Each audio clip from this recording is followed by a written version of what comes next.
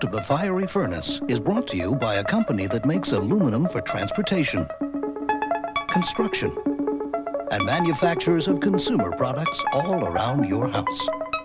Commonwealth Aluminum.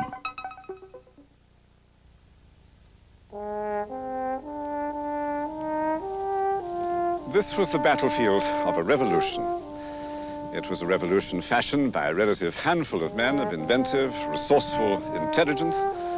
The outcome of their victory left no single life untouched, either then or since, anywhere. And more than 200 years later, we are still trying to digest and deal with the consequences.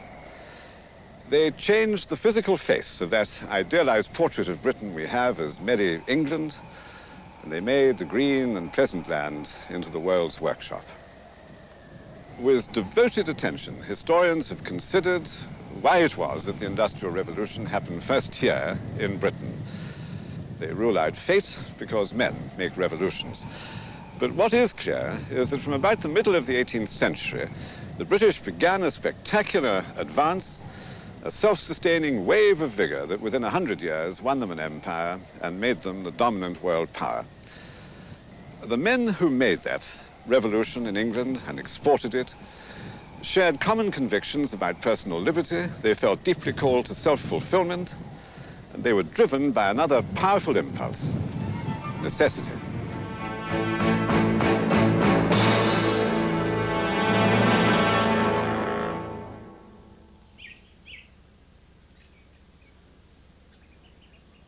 At some point, during all the long ages in which man has played with fire, some genius, some inspiration made the leap to a new truth. The discovery that partly burned wood made a more versatile fuel than wood itself. The slow, controlled combustion of the charcoal-making process drives off water and other elements and leaves, when it's over, an almost pure carbon, which burns with a clean, smokeless heat. Among the consequences of that revelation was the beginning of one of man's more devastating assaults upon liberal, bountiful nature. Over tens of thousands of years, trees were cut and split and turned into charcoal for cooking and for heating, just as one of the last of the charcoal burners is doing here in Austria.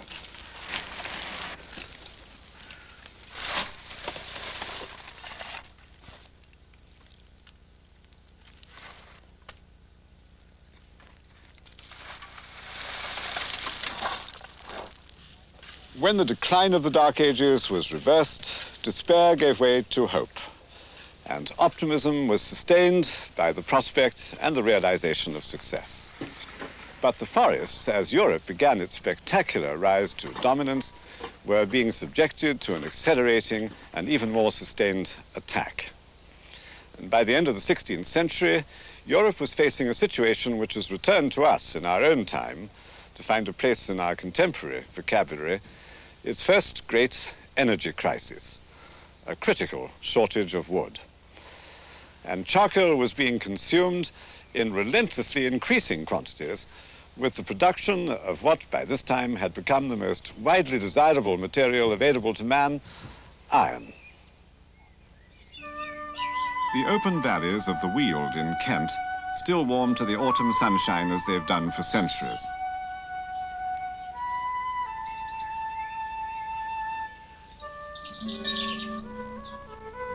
But this is not the countenance of England as it used to be. Once the Weald was all like this surviving wood.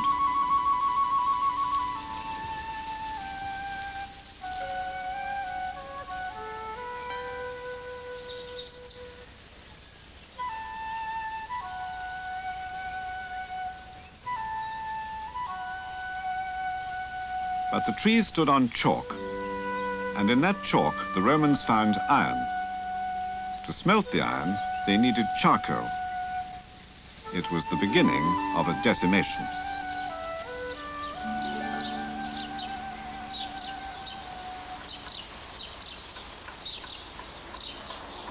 The forests of Britain were admired for a celebrity among trees, famous for the great age it attained, and out of which over centuries had been carved the wooden walls of old England.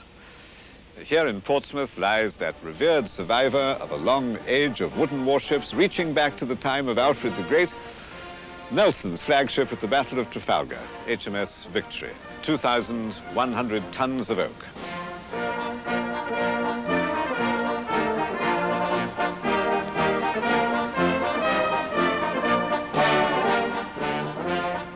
Literally thousands of trees were cut to make a single ship of the line like this. In Victory's case, 300,000 cubic feet of oak went into her, a whole forest. Much earlier than the launching of HMS Victory in 1765 and Nelson's day, incidentally, that's where the little admiral was standing when he was shot by a sniper from the foretop of the French ship Redoutable. Much earlier than Nelson's time, two centuries before, the steps had been taken to establish the sea service as a distinct profession. And that was done by Henry VIII, who in effect founded the Royal Navy and built here at Portsmouth the first Royal Naval Dockyard in which Victory lies today. Hearts of Oak were the Navy's ships, and oak built the ships of the maritime trade. At the same time, the population of Britain was making increasing use of iron, and the skill of British iron makers had built up a flourishing export trade in, among other things, and cannon. Two uses of timber from the English forests were therefore in competition.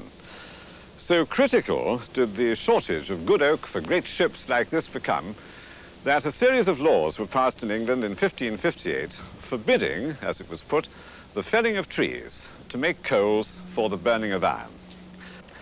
Uh, that effectively snuffed out the iron-making industries of Sussex and the Weald of Kent, and the iron makers were forced to look for something else.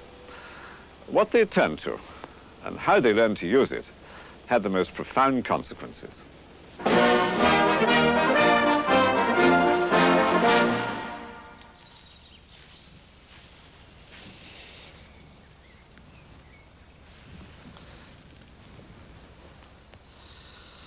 No one knows when this black rock was first deliberately burned.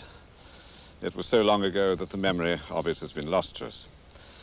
But there are misty images of women dressed in long dresses and wearing shawls with baskets on their heads, harvesting it from beaches which have been handed down in paintings and pictures into modern times. And certainly one of the first places where it is known that coal was gathered and used was here in Scotland, along the shores of the Firth of Forth during the Roman occupation of Britain. The civilizations and cultures of the ancient world all occupied areas in which coal in rich seams did not outcrop on top of the ground. In the days of the Roman Empire, the most abundant coal seams which did outcrop on the surface were here in this part of Britain. And it was from these exposures at the water's edge that it got its name, sea coal.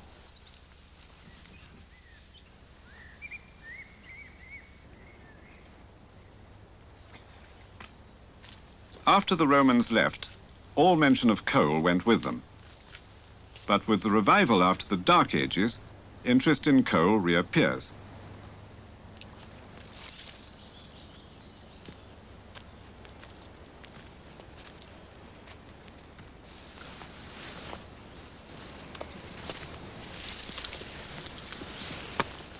And it was here, in the 12th century, that the first recorded digging of coal took place in Britain under the rocky outcrops in the cliffs behind the beach at Carriden on the Firth of Forth.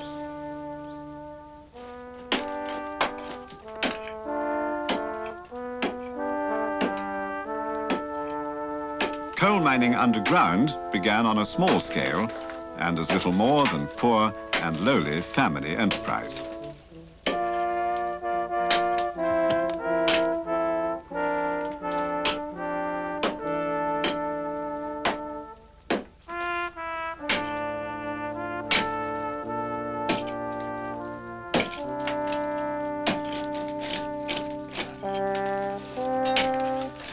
Ages onwards, the use of coal increased rapidly, especially after houses were designed to include chimneys, which made the smoke and the fumes more tolerable. Industries such as brickmaking, brewing, and glass and china turned to coal as charcoal became scarce and more expensive. Britain was destined to become the world's largest coal producer. Her people were almost kippered in the smoke. But a vital industry was held back. Attempts to smelt iron with coal failed. The softness of coal choked up the furnaces, and its impurities made the iron brittle and useless.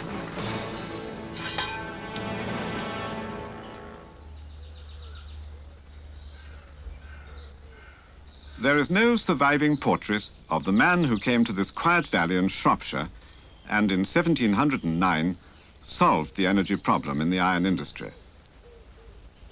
Abraham Darby had learned about metal casting in Birmingham, making hand mills of iron to grind malt for the breweries. Darby had brought those elementary skills to the small town he was to make world famous, Coalbrookdale, on the banks of the Severn.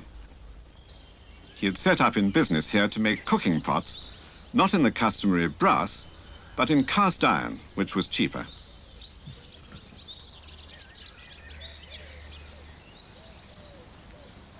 The Industrial Revolution had many roots and origins, but this place in Coalbrookdale has a special claim to the Nativity, and Abraham Darby was present at the creation. When Darby came here to this Shropshire Valley of his, the price of charcoal had risen so high that he had a strong inducement to find an alternative. And two things with which he had been familiar in his apprenticeship years in the malting industry assumed a great importance for him. The first was his general knowledge about the casting of iron, and the other was a particular interest in the fuel used by the brewers of Birmingham in the making of malt. That fuel was coke which is made from coal in much the same way as charcoal is made from wood. Partial controlled burning gets rid of the impurities and leaves behind a hard, clear-burning fuel, coke. Darby seems also to have been aware that the coal in Shropshire was particularly suitable for making coke. Such were the secret arts and mysteries of his interest in iron and coke together that it's recorded he stopped up the keyhole of the room in which he and his associates discussed it.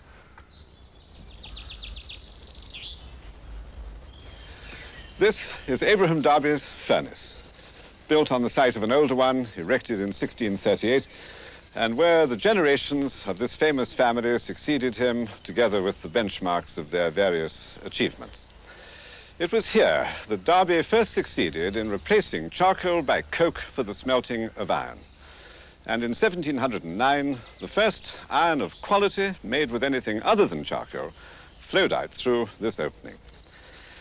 Iron could now be made using the apparently limitless resources of Britain's coalfields rather than the severely restricted supplies of charcoal. It was the gateway to a new iron age, and a new dynasty was enthroned here, the Iron Masters.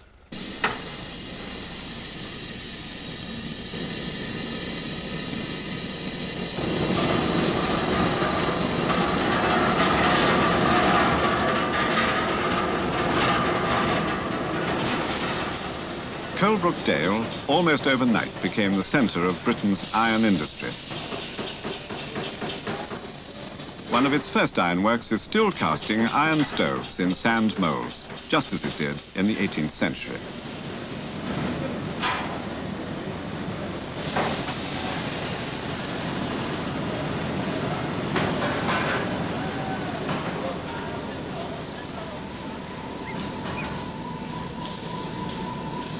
Discovery that iron could be smelted with coke broke the energy impasse of centuries. And it immediately multiplied the demand for coal.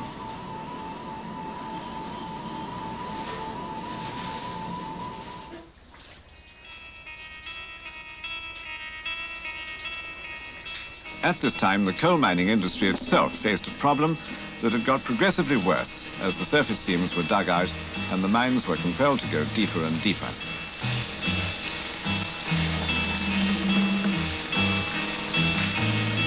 Water is the miner's ancient and most formidable enemy.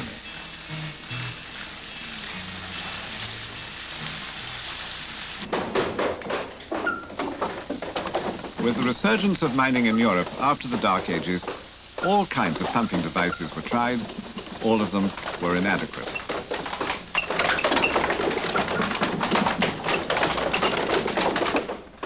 Was one crippling, insurmountable difficulty.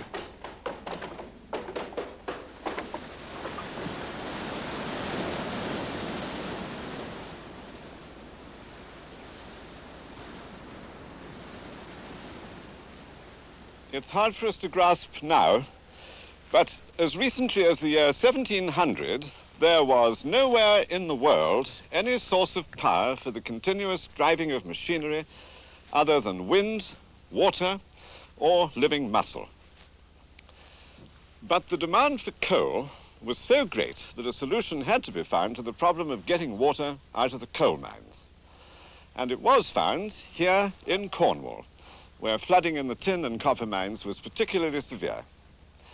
It was found by that archetype of the Industrial Revolution, the practical man. He was an ironmonger named Thomas Newcomen. Newcomen lived in Dartmouth in Devon and had a business supplying iron tools to the miners in Cornwall. He was, of course, aware of the flooding problem in the mines and about 1700 began experimenting with a kind of pump driven by the newly appreciated but little understood force of atmospheric pressure. Today, a corner of the municipal gardens in Dartmouth houses one of the earliest surviving examples of a simple yet massive individual achievement.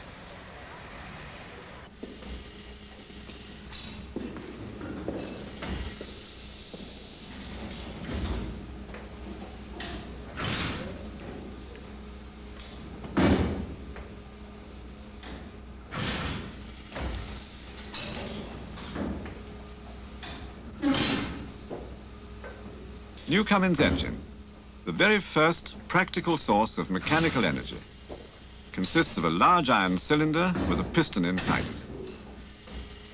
This is connected to his famous beam, pivoted in the middle. The other end of the beam is connected to a pump down the mine.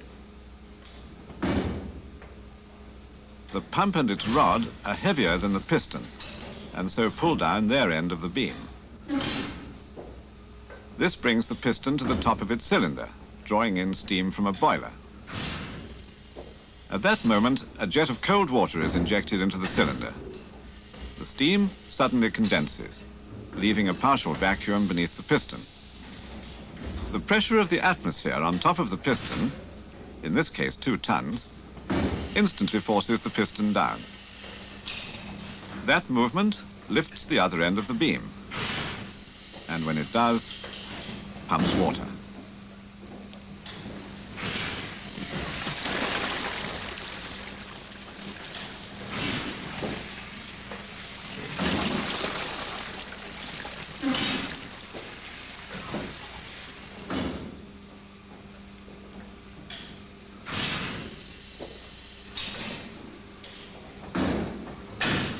Thomas Newcomen's invention was one of the great turning points in history. And these, therefore, are the very early remains, the skeleton of a revolution. They give us some small impression of his enormous achievement in, as it was said at the time, raising water by fire. The first steps towards a solution of that problem had been taken by the scientists in the 17th century. They had had no difficulty with the theoretical aspects of atmospheric pressure, but they had invariably been defeated when they tried to practically apply them. And that was the measure of Newcomen's personal triumph. He was an ironmonger trained as a blacksmith, not a scientist, not an engineer, but a practical, solitary man of genius with the insight of genius. T.E. Lawrence, Lawrence of Arabia, said of genius that when it happened, it was like the flash of the kingfisher across the darkened pool, vivid and unmistakable. And so was it with Newcomen's solution to an age-old, hitherto insuperable barrier to further advance. He gave to man the first fully automatic invention since the clock, and with it he ushered all mankind into the modern era. for this was to be the force which powered the Industrial Revolution. And as for Newcomen himself, no portrait of him survives. We have no idea what he looked like.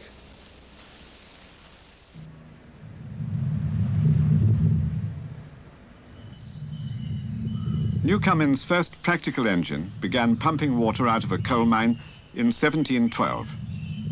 Within a decade, scores of similar beam engines were at work in Cornwall and Devon and all over Europe.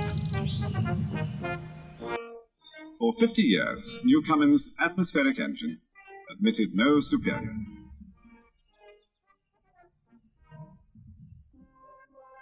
In 1763, the instrument maker at Glasgow University was asked to repair the scale model of one.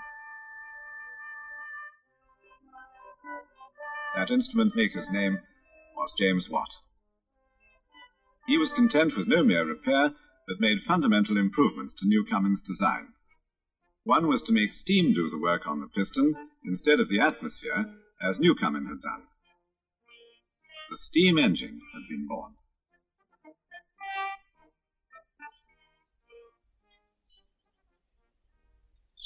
On a quiet stretch of the Kennet and Avon Canal in Somerset, the oldest steam engine anywhere in the world, still performing the task it was installed to do, is this one. It's been pumping water here since Napoleon marched to Moscow in 1812.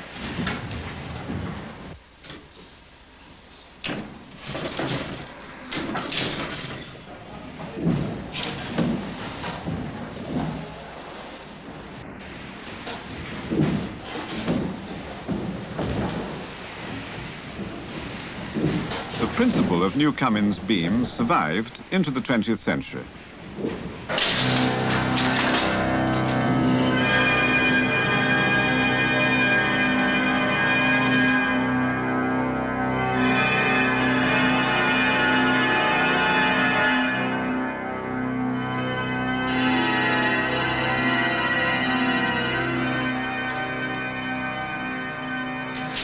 Cornish engine reached its final imperial dimensions in these massive pumps at Kew.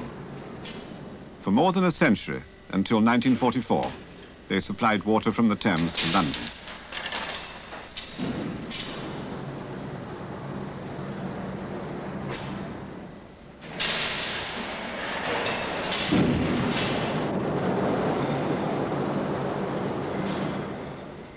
This great engine, with a piston force of more than 100 tons, pumped 30,000 tons of water a day.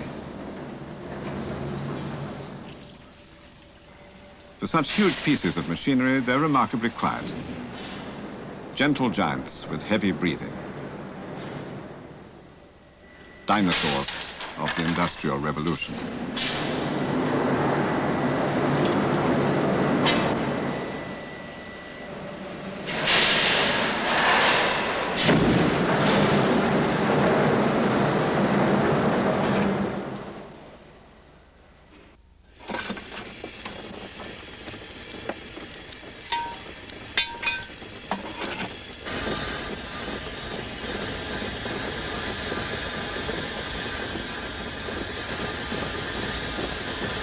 By the end of the 18th century, the natural forces of wind, water, and living muscle had been superseded by steam, tireless and obedient.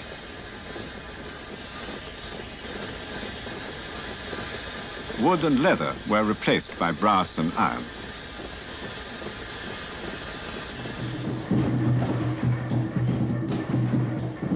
The conversion of the back and forth action of the piston into rotary motion multiplied the application of steam engines throughout industry.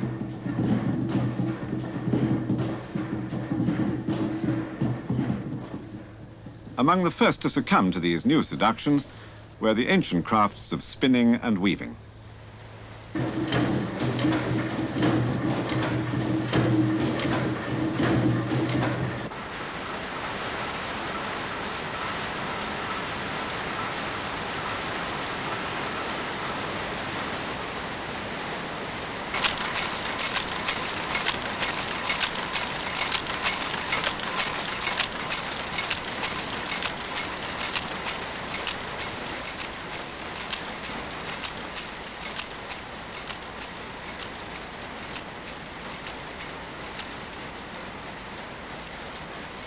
The steam engine made the textile counties of Lancashire and Yorkshire the hub of a manufacturing empire with worldwide dominions.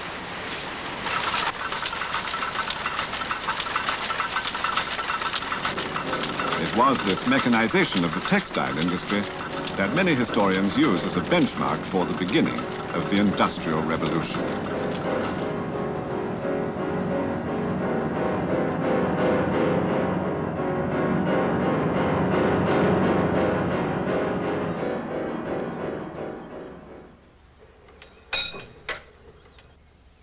Coal mining industry, too, was radically transformed below and above ground.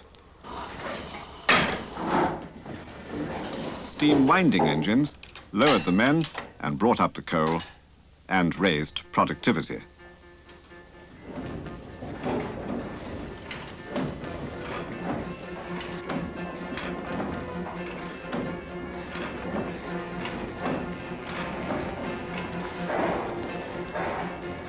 Supplies of coal for iron making became accessible and virtually unlimited.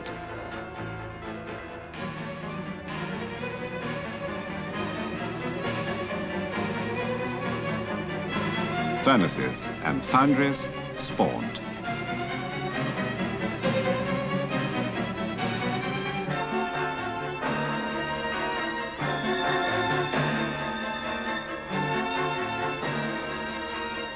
Coalbrookdale itself shook with noise and glowed with fire day and night.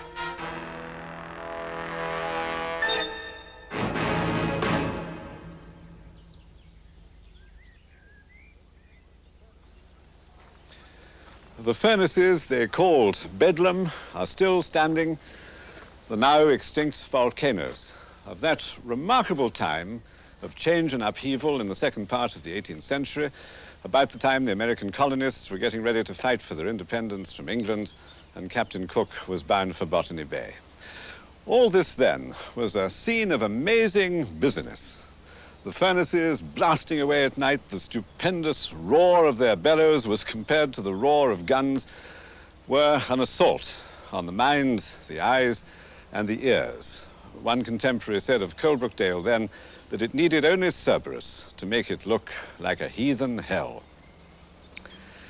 So there's not much doubt that they deserved their name, as the bedlam of the industrial era invaded the rural quiet of England and left amid all the excitements an enduring melancholy mark.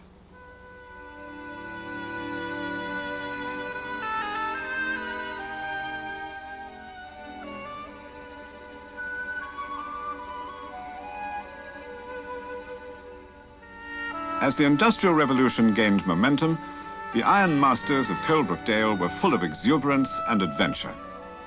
There seemed no limit to what their industry and their iron could do.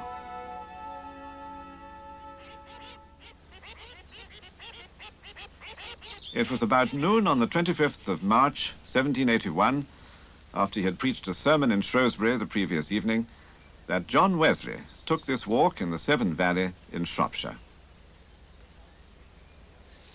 He had set out to see the first brilliant audacity of the new ironmasters. We walked, he confided to his diary, to take a view of the new bridge thrown across the Severn. It is a single arch, 100 feet broad, 52 feet high, 18 feet wide, and it's all of cast iron, weighing many hundreds of tons. And with nothing else in the English landscape at that time to measure it by, Wesley saw it in the classical perspectives of the ancient world and compared it to the Colossus at Rhodes.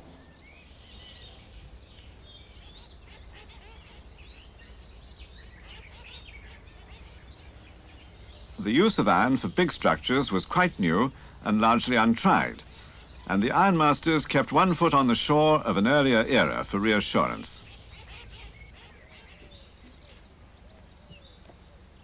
The joints in the ironwork are those of the carpenter, dovetails and mortises.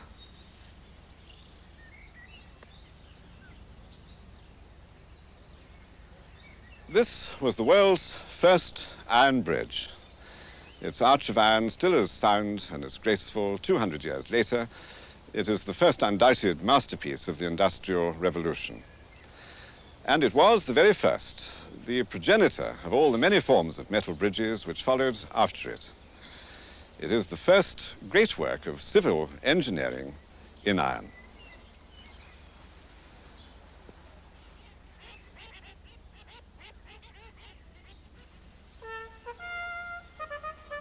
As the pulse of the revolution quickened throughout England, the old arteries of transport proved inadequate.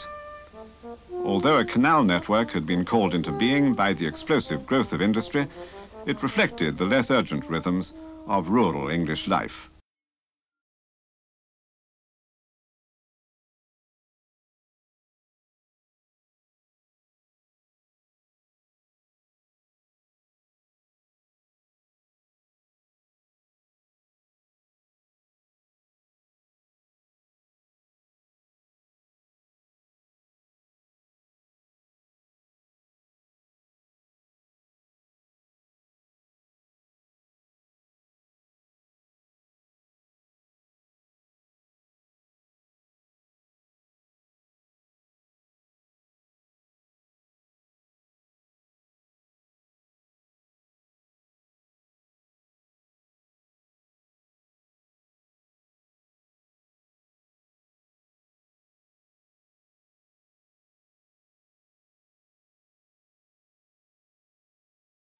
Barges could carry heavier loads than carts on the muddy, rutted roads, but they were no faster. The canals either had to pick up the beat of the industrial engine or fall to one side. The canal managers produced an innovation to speed up the loading and unloading of their barges, but in the end, it brought about their eclipse. The paths which led from the factories and warehouses of the Darbys of Coalbrookdale took many different directions, but they gave firm, clear leads to the future. The idea of using what used to be wooden tracks leading from this rather ecclesiastical-looking warehouse down to the water's edge, along which they used to wheel carts to the barges, is not new.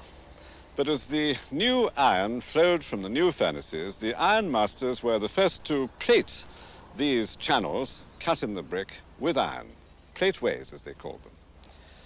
These grooves and channels in the paths at Coalbrookdale, now partially restored, when they were plated with iron, became the first clear pointer to that single aspect of the Industrial Revolution which, above all others, came to hold the affection and have the greatest impact on the mass of people.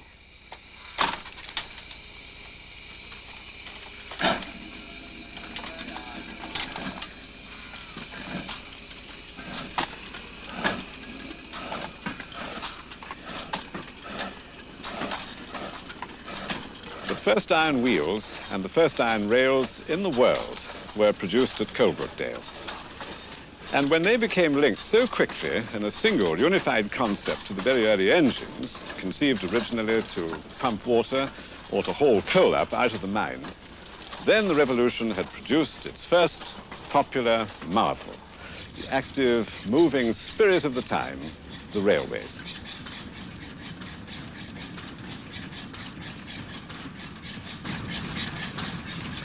The railways ended the canal era and put an end to the horse-drawn past. A great divide had been crossed.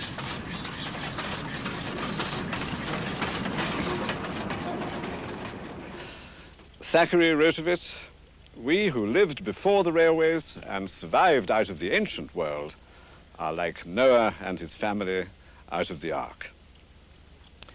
With the coming of locomotive engines, some of the unremitting drudgery of physical hard work was lifted from the backs of the laboring poor.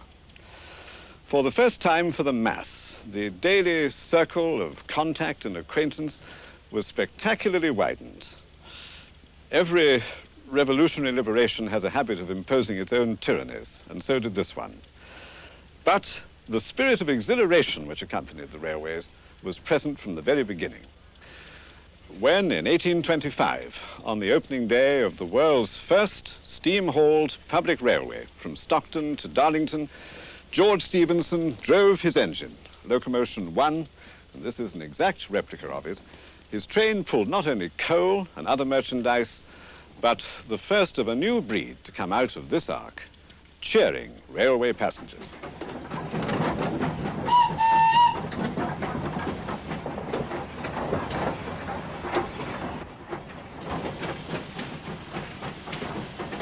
Railways provided a means of distributing, quickly and cheaply, all the new things being made.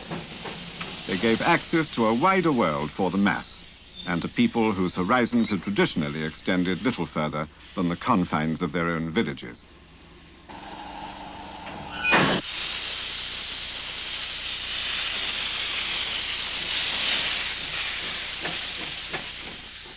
The railway mania which gripped Britain during the Industrial Revolution has left a lasting nostalgia.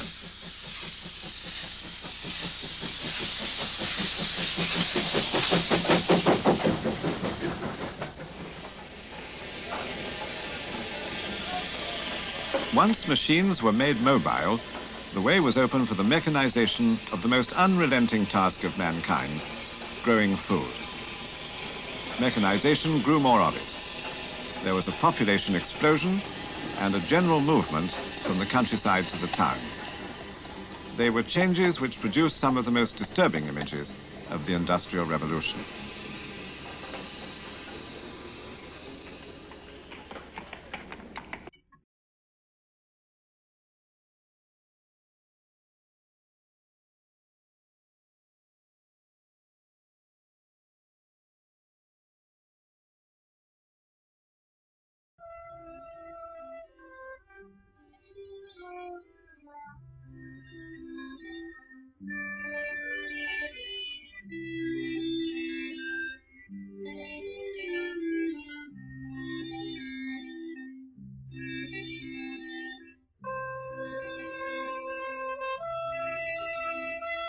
Gustave Doré's scenes of London life were the dark face of the Industrial Revolution. But there was a general and sustained improvement in living standards. The very nature of poverty was changed.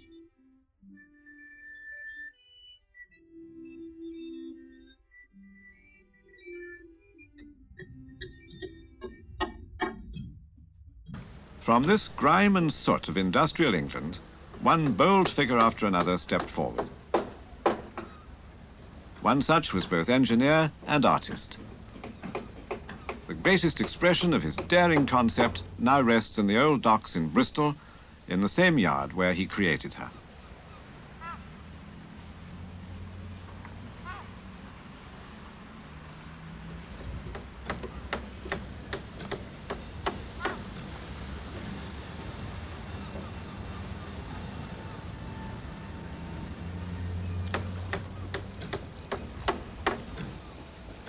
When Isambard Kingdom Brunel, with that name of his like a bugle call, summoned all the enthusiasms and the new technologies of his time to build and launch the Great Britain from her dock here in Bristol in July 1843, he took a bold, romantic, imaginative stride into much that was unknown and untried as far as the building of ships was concerned.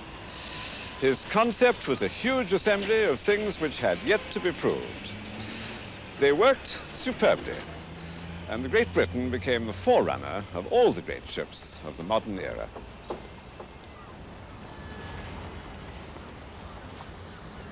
Brunel had thrown the shipwrights' textbooks overboard.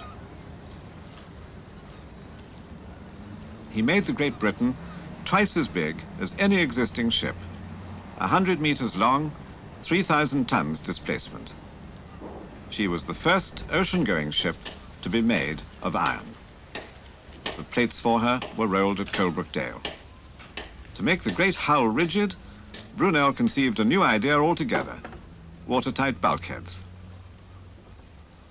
And at the last moment, he abandoned the traditional paddle wheel and gave her a propeller.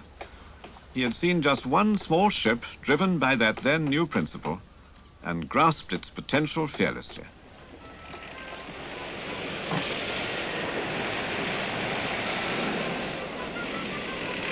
On the New York run, which she began in 1845, the Great Britain's speed and seaworthiness were convincingly shown.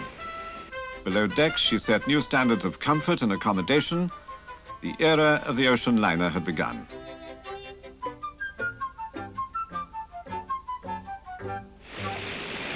Great Britain's triumph was abruptly cut short. She ran aground in Ireland on her fifth voyage to New York. Her owners were ruined by the accident and had to sell her.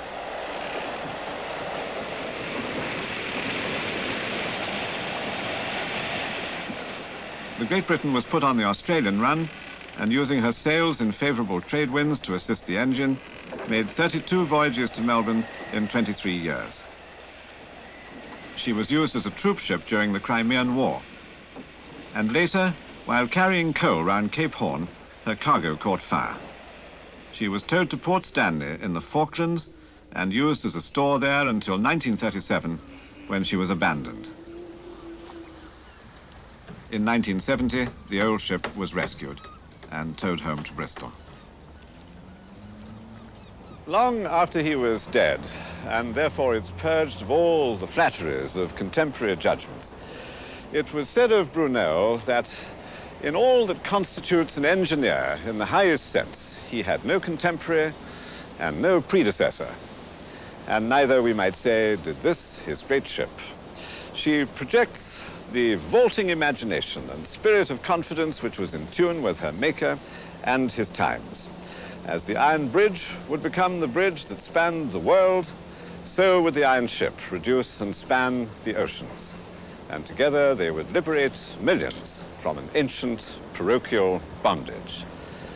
The Great Britain serves today as a national monument to that new thinking and its execution on an epic, masterful scale in Britain. Iron ship Iron Bridge were the connecting links which would cut the world down to a new size.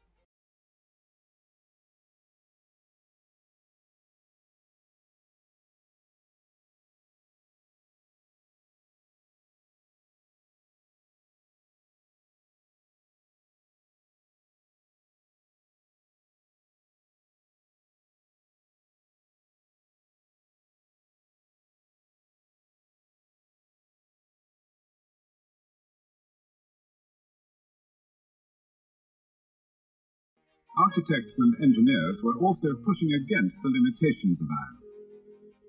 Cast iron, as used in the Palm House at Kew, was cheap to make but essentially brittle because of its high carbon content.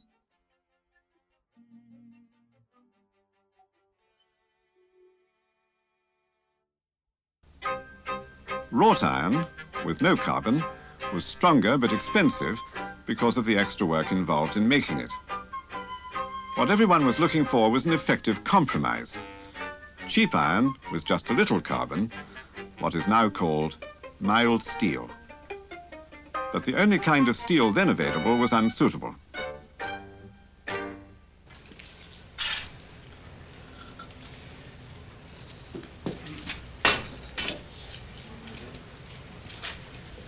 From about 1000 BC onwards, Bars of iron could only be steeled by hard labor with hammer and anvil or by roasting with charcoal in a furnace.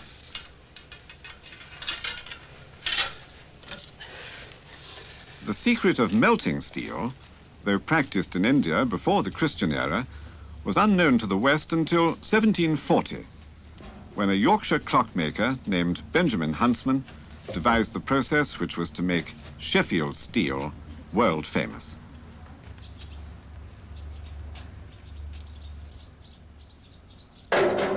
Pieces of iron and charcoal were melted together in a clay crucible for several hours.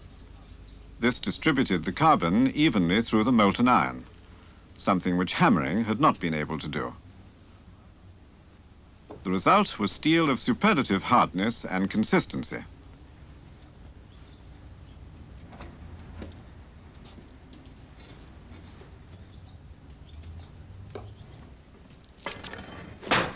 Such a bar of steel could be made into high-quality tools and instruments.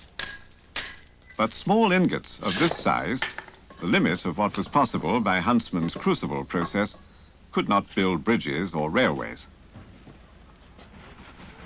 The art of crucible steel making survives at the Abbeydale Industrial Hamlet, now a historical museum in the suburbs of Sheffield.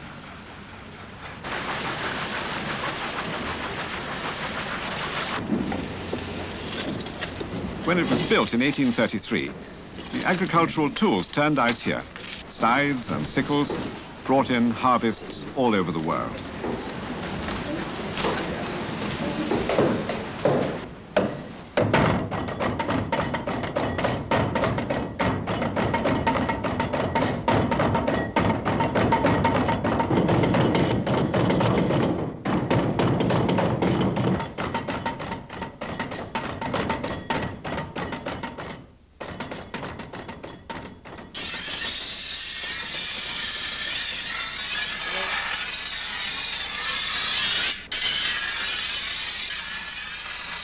Time, Sheffield steel was matchless. But crucible steel of quality was too scarce and too valuable to feed the growing appetites of the Industrial Revolution. That hunger was appeased in 1856 by another famous name, Henry Bessemer.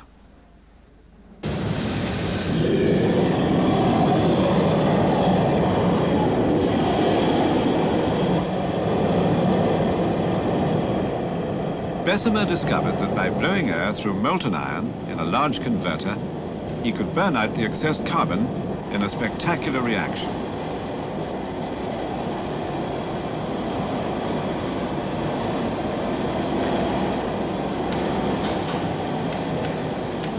The result was low-carbon steel, just as good or better than wrought iron for almost every purpose, and it was cheap.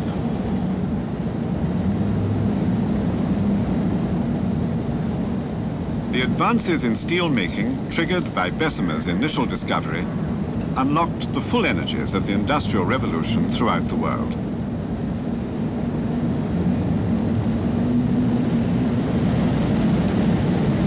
By the end of the 19th century, steel girdled the world with railways and bridges, galvanized it with machines, and changed the profile of cities.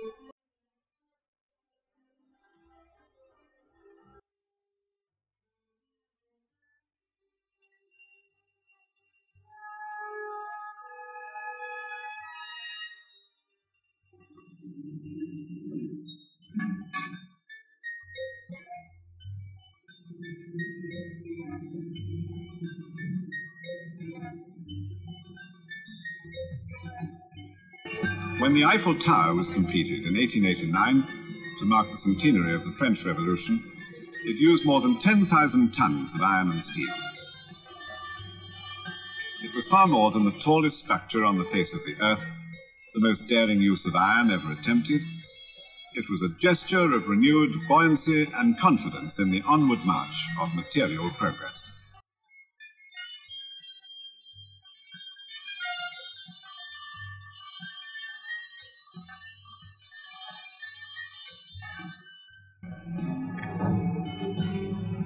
Across the Atlantic, in Thomas Jefferson's great republic, that the mood and the technology would be caught to run away with the world.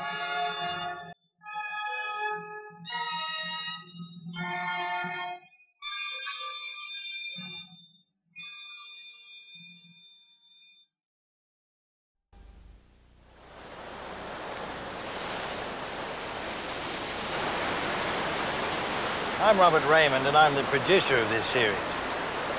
At the end of the episode you've just seen, we pointed out that although the Industrial Revolution began in England, it was America which seized the mood and the technology to run away with the world.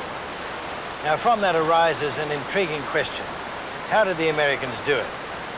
How are they able to take that technology and so expand its potential as to create, in effect, the standard of living that we now enjoy?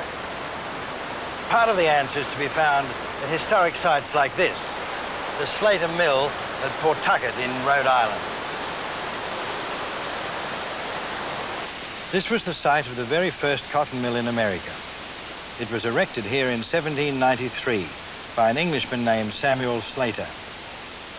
This building was constructed not long after, in 1810. It's been restored and stands today exactly as it did nearly 200 years ago even down to the water wheel, which provided the motive power for the cotton spinning machinery.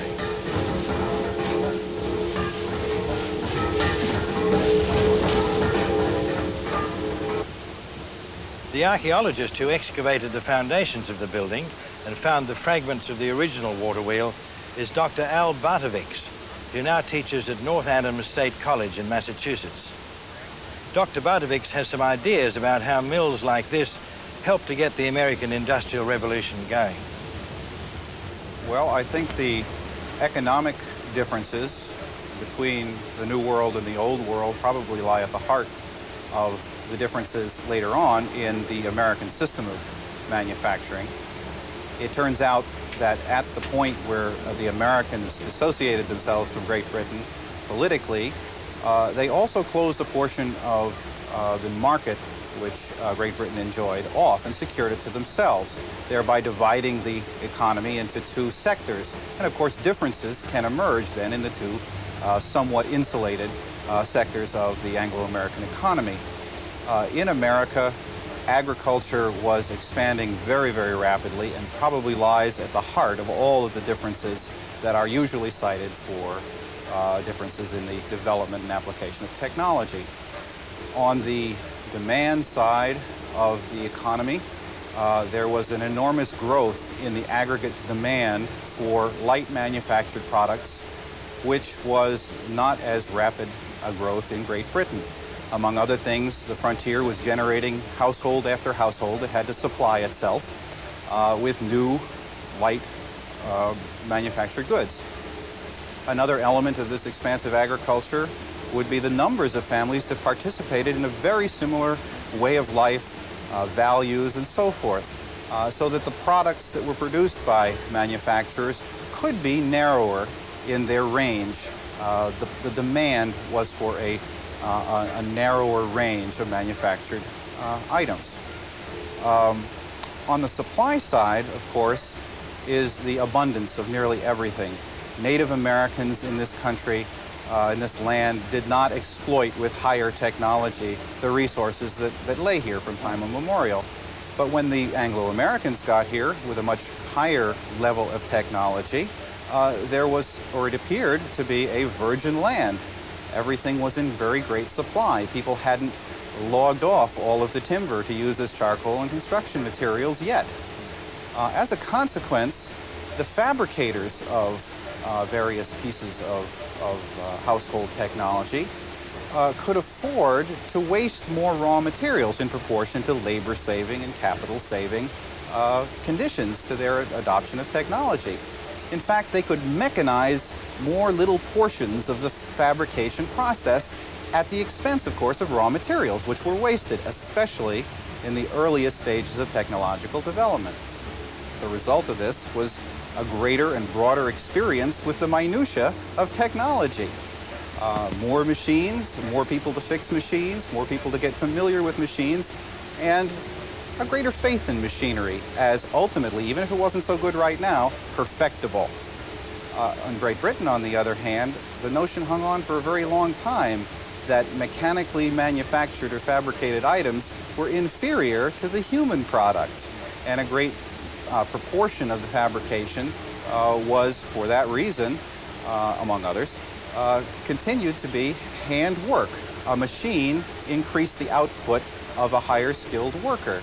It didn't reduce the uh, process to a bunch of little parts that needed very little skill to execute any single piece. Um, the whole system that, that was selected for, if you wish to take a, a, an evolutionary ecological approach, was slightly different in the number of functions uh, and the number of machines that were present uh, about the time of the 1851 Crystal Palace exhibition, one of the great world trade fairs, when it was finally noticed by people that the Americans did things a little differently than others.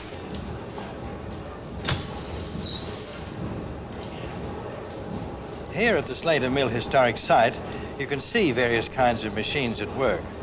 They date from that early period of American industrialization.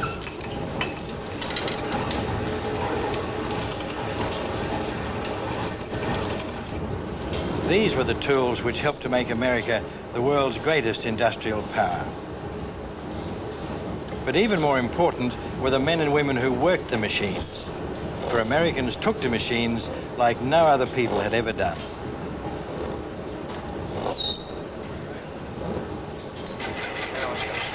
Dr. Patrick Malone teaches the history of technology at Brown University in Rhode Island. And he's also the director of the Slater Mill Historic Site.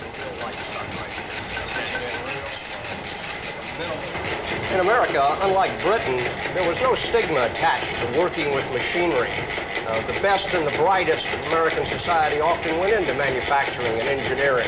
Uh, getting your hands dirty was, was, not something to be ashamed of. Americans liked playing with the machines. And from actually working with machinery, uh, they developed innovative skills that, uh, that placed them in a strong position in the world economy. It also seems to me that Americans really enjoyed using machines. Well, I think that Americans really developed a love for machinery. Uh, the American experience with machines uh, spread the, the, concept of mechanization. Uh, Americans uh, made folk heroes of men like Edison. Uh, they revered uh, the cartoons of Rube Goldberg, which tend to praise mechanical complexity for its own sake. Uh, we really have to say that the American love for machinery transcends economics and that it's become a very important part of our modern American culture. In the next episode, we'll see how this basically European technology and the uniquely American way of doing things came together to such remarkable effect. Out of the Fiery Furnace is brought to you by a company that makes aluminum for transportation, construction, and manufacturers of consumer products all around your house. Commonwealth Aluminum.